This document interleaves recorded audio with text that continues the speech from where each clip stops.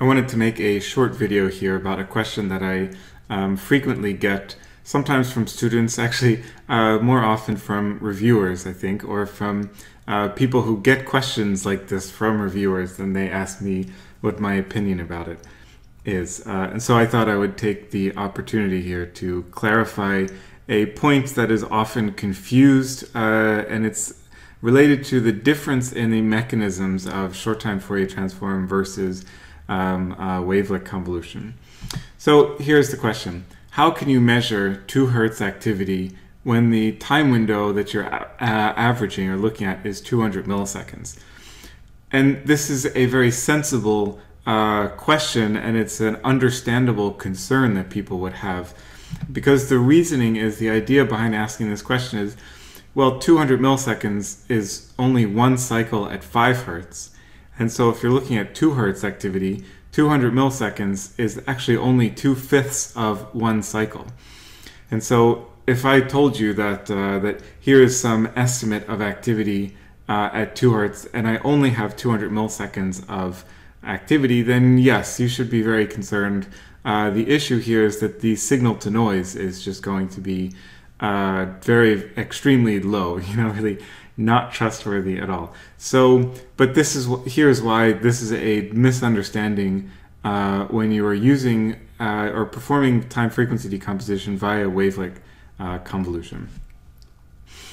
So when you're doing a short time Fourier transform, let's say, so in this example, let's say we're doing a short time Fourier transform to versus wavelet convolution to look at uh, activity at 3.5 hertz within a 300 millisecond window um, in this uh, time series.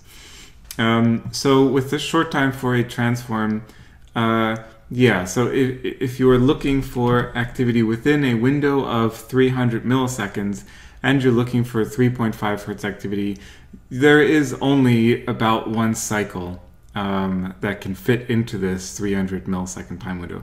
So here you would actually get uh, fairly poor uh, frequency uh, precision, fa- fa- fairly low signal to noise is what I mean. But things work differently with the uh, wavelet convolution.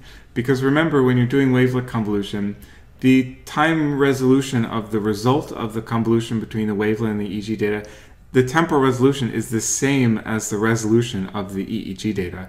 And that's because we take this kernel and we slide it along the entire time series from the beginning to the end. And that gives us this continuous estimate of instantaneous power at each millisecond uh, or at each uh, uh, time step. And so uh, for a wavelet convolution, averaging the activity, let's say the power, averaging the power within a 300 millisecond window does not mean that you are estimating 3.5 hertz activity only using the data from within this 300 millisecond window. In fact, the uh, estimate of activity inside this window is also influenced by activity earlier, before the time window, and after the time window. Of course, the influence decreases the further away you get from this time window. Um, but it is perfectly reasonable uh, and valid to say that we are estimating 3.5 hertz activity within a uh, a window of two, of 300 milliseconds.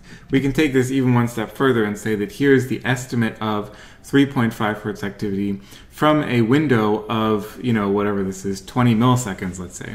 So of course you cannot get a uh, 3.5 hertz um, uh, or even one cycle at 3.5 hertz within 20 milliseconds. But inside this time window resulting from wavelet convolution, uh, the uh, because the the result of convolution is continuous, uh, then we can actually estimate the instantaneous power at 3.5 hertz within a, uh, a, window that is much smaller than than a single cycle. Um, in fact, you can even estimate the activity of 3.5 hertz uh, at, at one single time point, so within a window of one millisecond.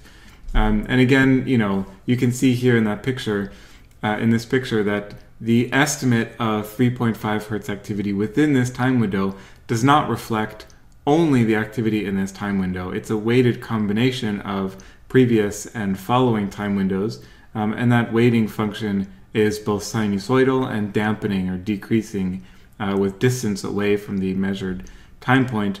But the important point that I want to uh, to demonstrate here, to to mention here, is that the uh, the length of time that you use for averaging the activity after you perform convolution is totally unrelated to the uh, number of cycles that could theoretically fit into um, into that time window that you use for averaging. Of course, that said, you know, the larger the time window, uh, or you should in general prefer taking larger time windows because it increases the signal to noise. You're going to have a, a better, more reliable estimate. Uh, but there's really nothing uh, invalid or improper about um, taking the result of convolution and, and estimating power at one single uh, time step or you know any any arbitrarily sized window.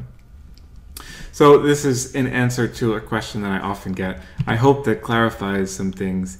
And uh, yeah, I guess if it's still unclear, you can let me know and I can try to clarify it further.